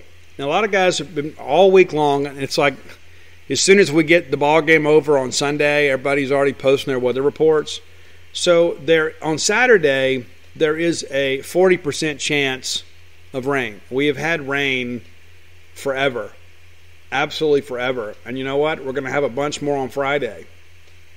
But by the time we get ready to play a ball game, hopefully the rain's going to be gone. It is supposed to be partly sunny on Sunday and then sunny on Monday, and um, hopefully that dries some things up. And people ask, okay, what about the quality of the field? Hey, we're going to be fine there. We've got the state of the art drainage system. We had the best grounds crew in the country. So the field will be ready. Will it be a little bit soft? Probably so. I mean, we've had a lot of rain in the Starkville area. I think today, this evening is the first time it's really slowing down uh, since we, we got done with the ball game on Monday. I mean, it has absolutely poured uh, much of the week. But I've got a lot of confidence in our crew. I have no doubt that they'll be it'll be up to a championship standard since that's the buzzword this year when it comes to NCAA tournament events. But I like us to win. I, I do. I just I've, I've looked at this and looked at this. I've talked to Mike Nemeth and talked to other people, and I just think it's as simple as this: you don't let Kavadas beat you. You don't, and you go out there and play your game, and you, and you don't beat yourself, and you're going to win this series. You're going back to Omaha. I think it is that simple. Uh, I do think Mississippi State is the better team. I think Mississippi State has played better competition. And let's run that down real quickly before we move on. So, as I've mentioned before, too, it was a good year in ACC, not a great year. And a lot of that, too, of course, is because, uh, you know, everybody had to schedule a little bit different. But uh, not a lot of ACC teams in the tournament. Miami makes the field, of course. They went and played in the Florida Regional. Florida State made the field, played in the Ole Miss Regional. North Carolina uh, went out to Lubbock and played in the Texas Tech. Of course, all three of those teams eliminated. NC State is in. Of course, they're playing in the Arkansas uh, region. Duke went to Knoxville and got beat. And so, and then there's there's Notre Dame. And so there's not a lot of ACC teams left. I guess there's three, and because Virginia made it, uh, and they're in, obviously. So they're still playing. So again, not a lot of comparison. I think you can look at and say, well, you know, it's um, it's kind of like the SEC. The teams that you expected to make it did. I don't think there was anybody. Maybe North Carolina was a little bit of a surprise to get in, but it wasn't a great year. And so let's look at the Notre Dame schedule real quickly here and just kind of see how they did against some of these uh, teams that did make the tournament. And of course, they did play Central Michigan in the non-conference, and then they played them in their regional. Uh, probably not fair to Central Michigan, but uh, you know, fire up chips. Best luck to you guys. So let's run it down real quick here. We talked about earlier in the year about um, them canceling so much stuff. Uh, they they take two out of three from Wake Forest. Nothing good happens for Wake this year. They take two out of three from Clemson. Clemson doesn't make the tournament. They sweep Virginia, who is in a super regional. So that's one of those things that kind of raises an eyebrow. And of course, UVA kind of up and down. They take two out of three from Duke. And listen, all these games are competitive. That's the thing you look at. Like the Duke game, Duke, of course, didn't survive uh, out in Knoxville, didn't play well at all. But it's a 6 4 win in 13. It's a 6 2 game, and then they lose game three 2 0. They, uh, they, take, they take two from uh, Louisville. And again, games are competitive 5 3, 7 4. They take two out of three from Pitt on the road 4 1, 3 2, and then they win the Sunday game 11 5. They got after Georgia Tech pretty good, though. Took two out of three, but it's a 10 9 ball game, a 7 0 game, and they lose a 4 2 game, losing on Sunday, losing that game three. We look at the NC State, we know what those guys have done, right? It's a 3 2 ball game. They lose 5 2, and then they win the Sunday game 11 2. They take two out of three from Boston College. They sweep North Carolina, who made the field and probably shouldn't have. Uh, those games, you know, one of them's 13 to 12, but they, you know, they gave up a lot of runs. You know, Florida State, that was uh, that was a loud loss there. Florida State, really kind of a middle of the pack ACC team this year. You know, they went to, to Oxford and played, and Ole Miss people lost their minds because they're a college baseball blue blood, but they weren't good this year. They're pretty mediocre. But they went into South Bend and they took two out of three they beat the Irish 5 2. They lose 5 3, and then they beat them 7 1 on Sunday. Again, there's the Sunday thing again. There's the game three thing again.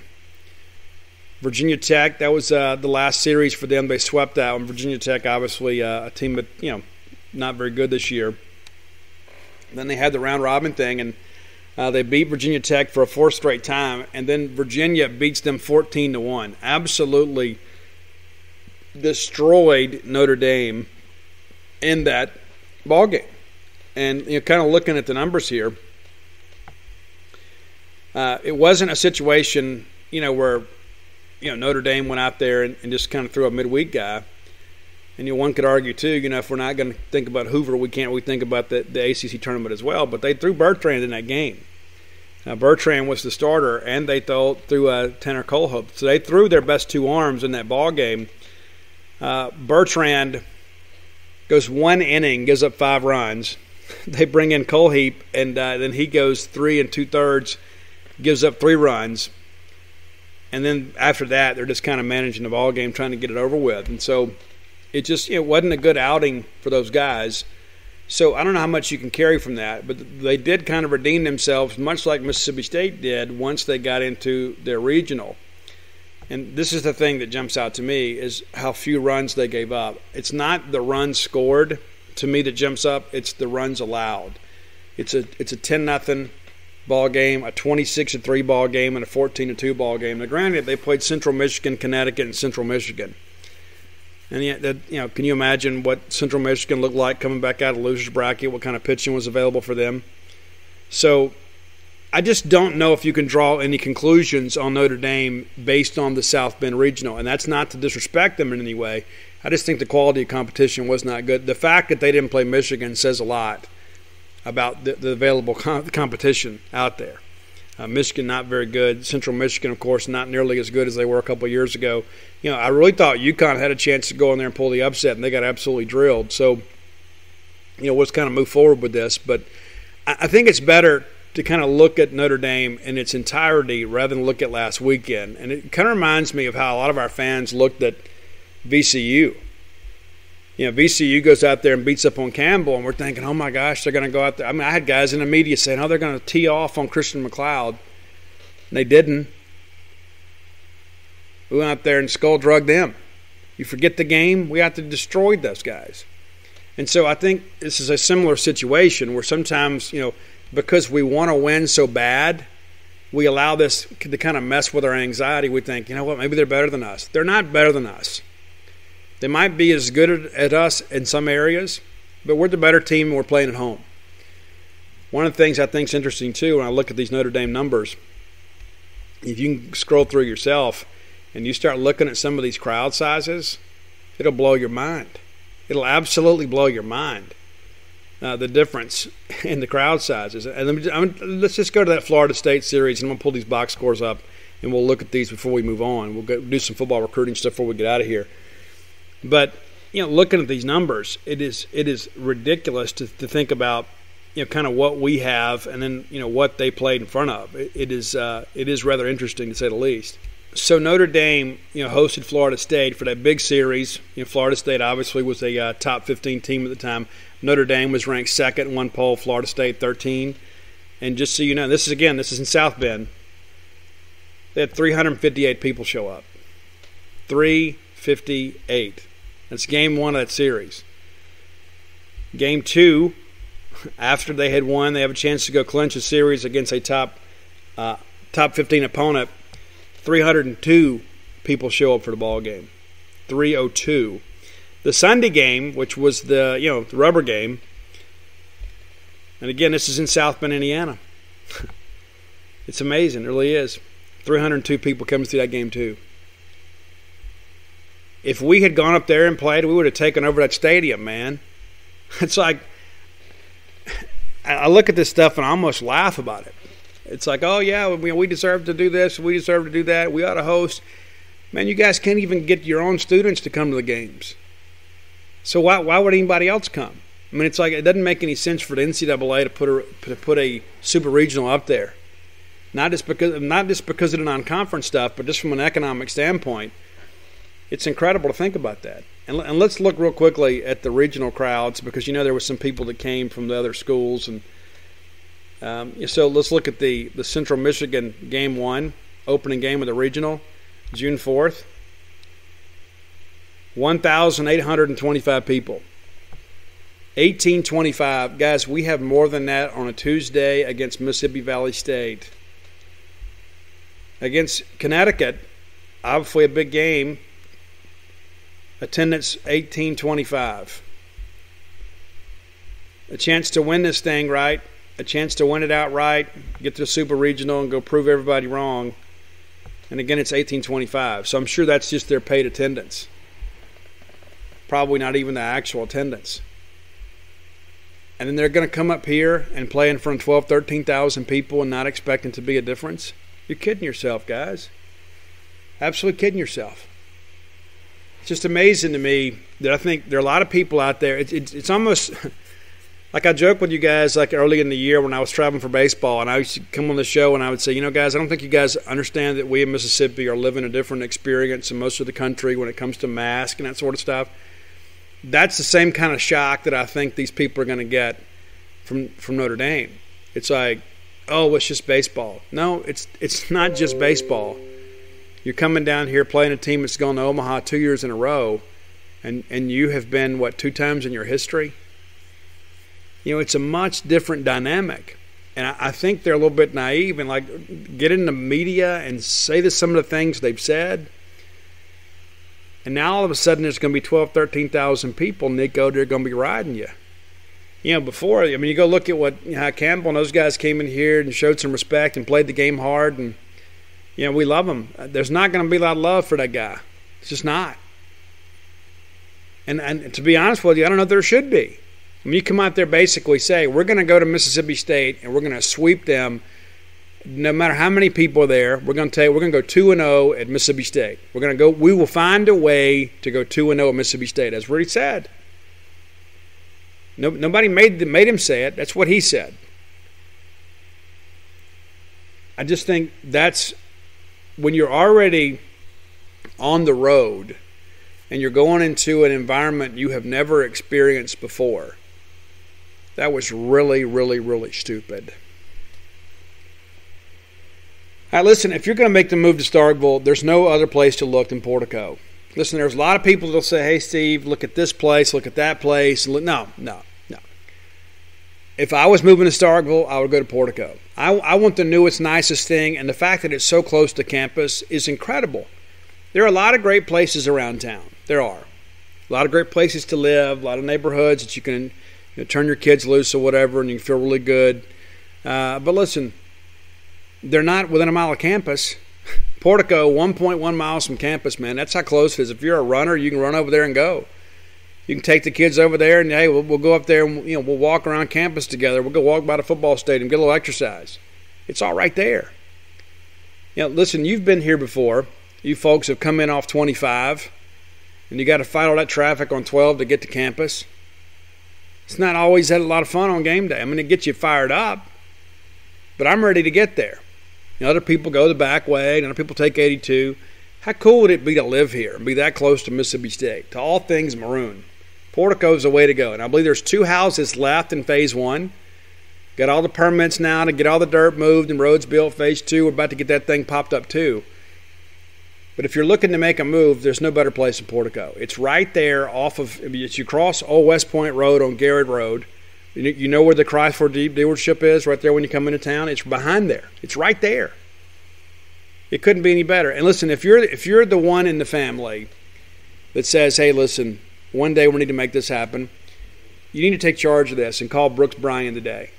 Call Brooks and just get some information. That's all you need. You're not making a commitment. You're not making a down payment. There's no earnest money required.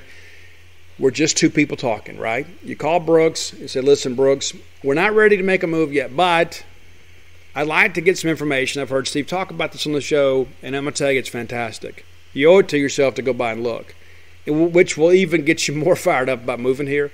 But just, just call Brooks and say, Brooks, I just want to get some information and you can have what you need before you even call a real estate agent, before you call your bank. Sit down with your significant other and say, listen, this is what I want to do. I've already talked to Mississippi State baseball royalty Brooks Bryan, my great friend Steve Robertson. He said, hey, listen, this is a move we could make. And then you bring all of us in there together, right? You have my endorsement, you've got Brooks's endorsement, and you're going to be well heeled for the discussion. Let me give you the number to call so you can get this thing started today. I mean, there's just absolutely no reason not to. Two bedroom, two bedroom, two bedroom, two bath, four bedroom, four bath. Got the walking trail, everything you need. And man, again, Mississippi State's basically in your backyard. There's nothing better than that, man. There's nothing. I can tell you from living here. There's nothing better than being able to go to ball games whenever I want to. Brooks' phone number 601 416 8075. Again, that's 601 416 8075. You got nothing to lose by making a phone call. You got nothing. Pick up the phone today, call Brooks, and say, listen, we've been thinking about this for a while. We just want to get some information. No commitment. Let's get the ball rolling, people. All right? I need you up here. We need more Bulldogs up here. You'll be so glad you're here. Your kids are going to be happier here because then they can go to Walmart like running a Jake Mangum or something, right? Let's go. All right, let's talk a little recruiting before we get out of here. I've got to go to bed here soon. That's one of the reasons I'm recording a little bit earlier because we got to get up and go to camp, football camp.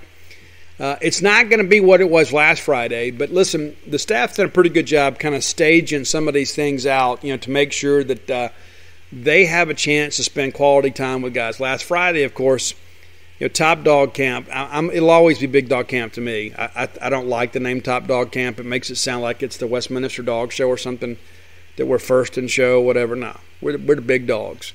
Big dog camp. That's what that's what it should be called, and that's what I'm going to call it. So we had big dog camp last Friday. All the stars kind of came out. Just about everybody was here, but there were some other guys that couldn't make it, like uh, Casey Henry, offensive lineman out of Georgia. It's really between us and North Carolina. He's uh, headed to Ole Miss one day this weekend, and then headed to Mississippi State. Ole Miss hadn't offered him yet, but he'll be here with us. And listen, for a long time, it's basically been a state UNC battle. I do feel like state is chasing UNC, and I think at some point, because of the fact that now state's got, you know, you've got you've got a couple guys already lined up now. You know, you can have a, sense of urgency, and you can say, hey, "Listen, I got you know a handful of guys out here that are thinking about committing." You know, so I, you know, it's time for me to kind of know what you're going to do, or at least have an idea of, of what we're doing you know, if we're going to continue a relationship together. Uh, so we've talked about Bryson Hurst a lot from Gautier. Listen, I, I, was told that he was very, very, very, very close to committing to Mississippi State last Friday night, and then just felt like, you know, I think his dad was with him. Say, listen, before we do anything, I want to get mom up here and let her ask her questions about academics and things like that. And of course, you can call them, but it's just different. You know, mom needs to come and listen. We've all got a mama, right? Mama wants to know where her baby's going to lay her head. And so mom needs to come up, and I understand that's going to happen here in the next couple of weeks. I'm not exactly sure when he makes the call. I do think it is sooner rather than later. He is expected to go to a camp at Florida State, and then I think they'll arrange that visit, you know, for, for him to come back with his mom and have an opportunity to have her questions answered. And I think shortly after that, I think we'll have commitment. I really do. Now, Cam East is a guy we've talked about a lot. Uh, Cam is a guy that wants to play in the Southeastern Conference. He's at a St. Augustine High School there in New Orleans. Interesting situation for a while. It felt like we were chasing Arkansas. Arkansas has a change of the offensive line coach. Of course, LSU fires James Cregg, and then he hired the, off, the uh, offensive line coach from Arkansas. So now all of a sudden, Arkansas is kind of on the back burner again. And he's headed to TCU this weekend. He wants to take a visit to Virginia but he's not going to go to those places. This is a guy that, listen, many of these kids hadn't been anywhere in two years. And we forget that sometimes too. He's like, well, yeah, they can finally go see it's their year. They didn't get to go anywhere last year. So these guys that are going to be upcoming seniors this time last year, it wasn't just the seniors that uh, had to stay home. They couldn't go to ball games. They couldn't come to junior day. They couldn't come to senior summer camps, and so they're kind of making up for lost time. So I think you're going to have a lot of guys take more visits this year. I think that's just there's going to be some guys that want to be recruited because they haven't been. They haven't seen a college coach on their campus in two years. They hadn't had anybody come to their spring practice or spring game and watch them play. They hadn't had a chance to interact with these guys. So I think many of these guys are going to you know, kind of slow the process down a little bit. And so as a result, they're going to take these trips. And I think Cam East is one of those guys. Cam, listen, Cam's not going to go to Virginia. I don't even think he would go to TCU. I think he's going to be reasonably close. But also, too, he has expressed more than once he wants to play in a Southeastern Conference. And so now that Arkansas is out, and the coach that was at Arkansas uh, is now at LSU, and you'd say, okay, well then, then maybe that means LSU is going to go ahead and offer him. You know, from what I understand, LSU has kind of told him and said, hey, listen, we'll be honest, you're kind of down our board a little bit. That's, that doesn't mean that LSU won't come back on him late. But I think by that time maybe it's it's too late. I've always said that the two places you can beat LSU for kids is in New Orleans and in the Arklatex. And of course, Arklatex is up there around the Shreveport area where Arkansas, Louisiana, and Texas come together, thus the Arklatex. Because those kids are so far removed from campus, many of them have never even been to a ball game at LSU. But kids in New Orleans are a little more self aware. So they're not always guaranteed to go to LSU. So this could be a guy that I believe that um, you know, if LSU decided to come back on him late, I think I think they could have a little trouble here. I don't ever count them out. But they've already got a handful of guys committed and a couple tackles already committed at LSU, and so it's like, okay, well, how many tackles are they going to take within your own class? And so I think State would have a good chance to get him, and I, I really don't think LSU is going to come back and offer him late. I really don't. I, I always worried about that with Malik Neighbors. Of course, that's the guy that flipped from us to LSU on signing day last year. I felt all the way through that if LSU ever offered him and got serious about him, that we were going to be in trouble. That's exactly what happened.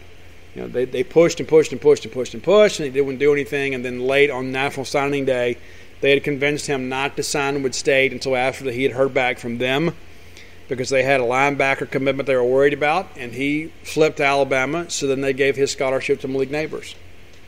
And so I don't think this will be a similar situation, though. I just don't think that LSU is as high on Cam East as they were Malik Neighbors, If that makes sense to you.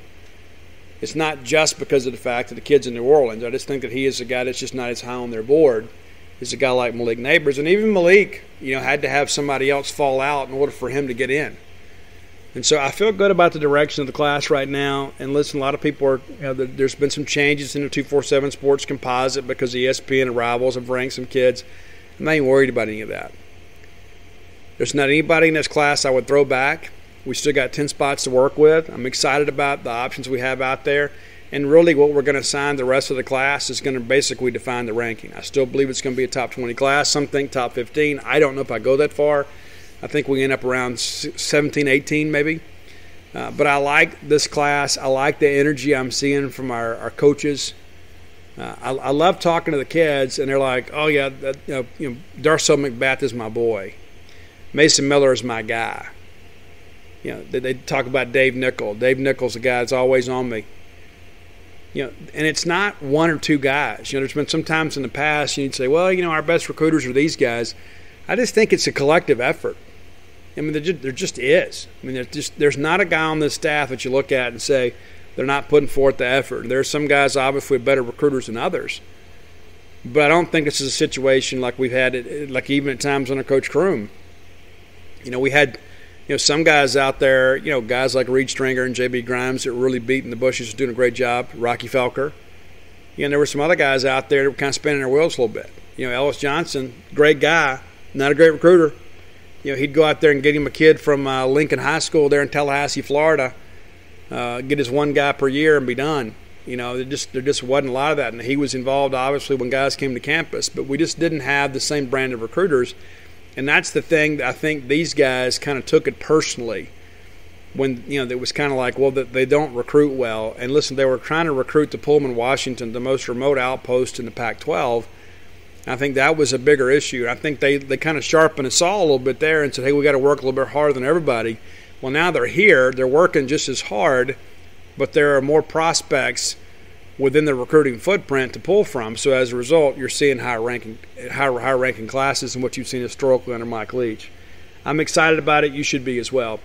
Uh, listen, I don't know if you guys are aware. I have a new book out. Came out on Monday, and uh, I was informed a couple days ago that uh, in its first week of release, it is going to debut on the Mississippi bestsellers list, which means more to me than I can ever say. All four of my books have been on there, and uh, it's not necessarily because I wrote them. Of course, that's a big part of the process, but it's because you guys go and buy them.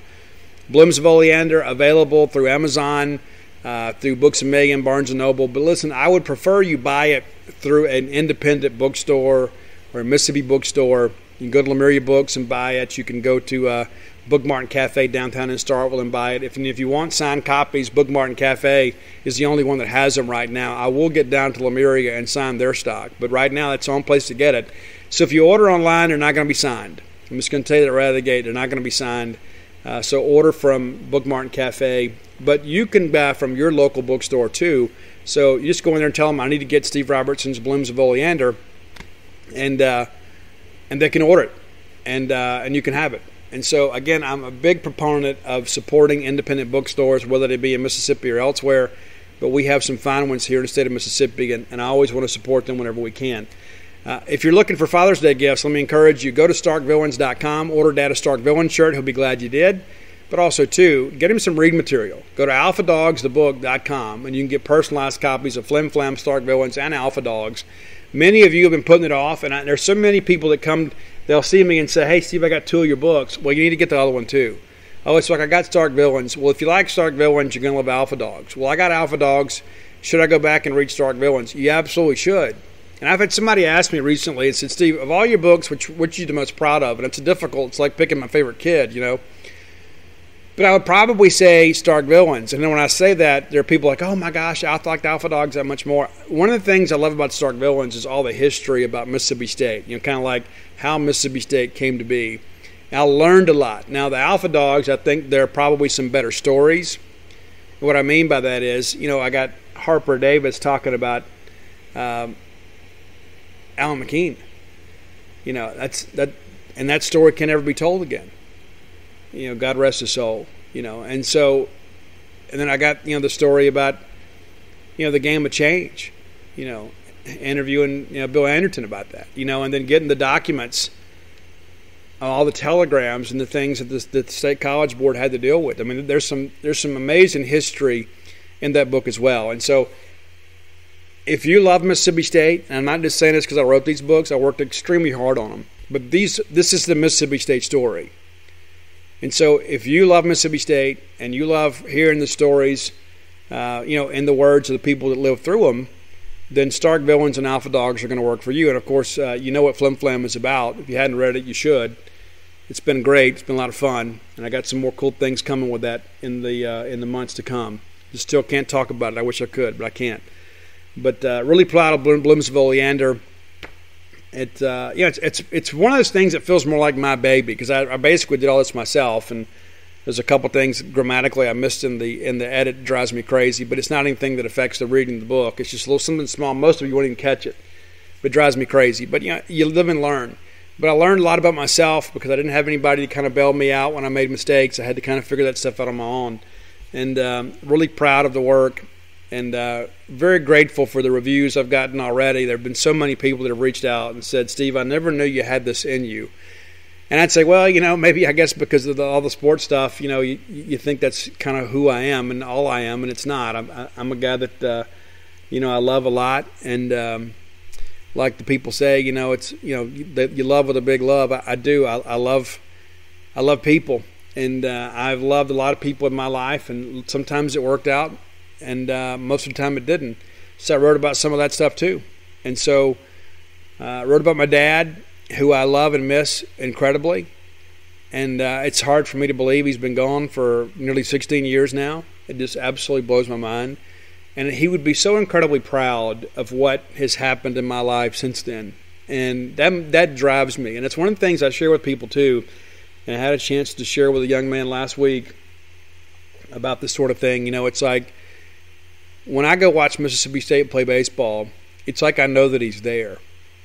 If that makes sense. And I don't want to get too deep and philosophical with you guys, but it's like when I go to Mississippi State baseball game, I know some I know somehow, some way he is there, that his energy is there, that he is watching over that game because that's that's what he loved.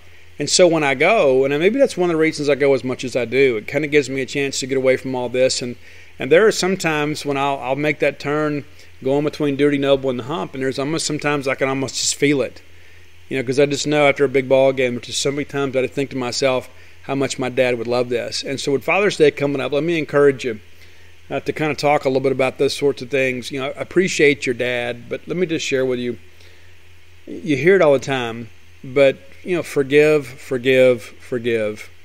You know, there, whatever is going on in your life, forgiveness is a gift you give yourself but there's just there will come a time when you're not going to be able to mend any fences. I listen, I know some of them are are so incredibly broken that uh, maybe you can't find any common ground to move forward and have any kind of relationship. But I'm just going to tell you, life is too short and death is too certain to live with bitterness and resentment in your heart.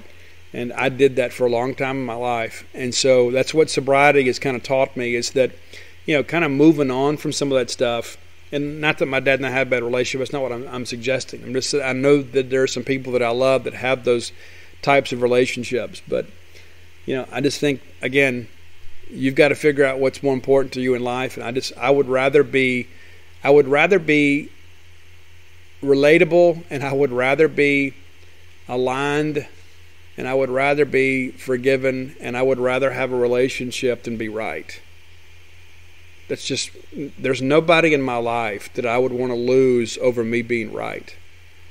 It's just not important to me. Being right is not important to me. And so maybe you don't share that philosophy, and maybe you're just not there yet, or maybe you've moved beyond that. And you just think, you know what, I'm I'm perfectly okay because I know there are some people that have, uh, you know, some toxic relationships. You don't need to revisit. I, I respect it, but if you're one of those folks that uh, you know maybe you've got some stuff between you that can be easily resolved with a phone call and maybe ego is the thing that's preventing you from making it i can tell you that one of the most beautiful things that ever happened in my life is i was with my dad when he passed away. And i was able to i had my hand on his on his arm as he took his final breath and i, I consider that one of god's greatest gifts to me. And i think it's important that um, I think it was important for him that I was there to help him through that.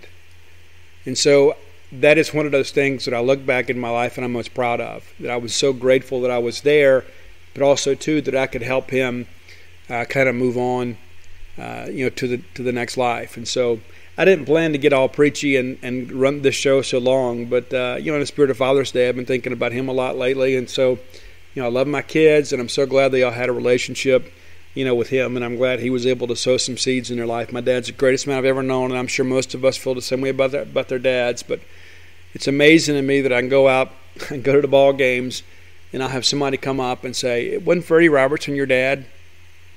I say, "Yeah, sure was." And everybody has a story, you know. Sometimes they're really funny, but that means so much to me when people that knew my dad come up and say, you know what, Steve, your dad will be really proud of you. It means more than I can really ever, ever say. Just because there's so many people that have come up to me that have a story, you know, that my dad helped them with this or helped them with that. And uh, I'm glad that uh, I'm part of that legacy and I'm glad that I'm his son. So I hope that you, uh, whatever whatever's wrong in your life, I hope you can fix it. I really do let me get out of here. I'm starting to ramble a little bit. I love all you guys incredibly, and I want you to have a great weekend. And I hope come Monday we're celebrating our chance to go to Omaha because I would love to take the show on the road and be able to record for you guys again in Omaha like I did two years ago. But let's get out of here. But until next time, let's all live our lives in a way we make more friends than enemies, and people can see a difference in the way we live. Sugar Ray Leonard, Roberto Duran, Marvelous Marvin Hagler, and Thomas Hearns legends whose four way rivalry defined one of the greatest eras in boxing history. Relive their decade of dominance in a new Showtime sports documentary, The Kings, a four part series now streaming on Showtime.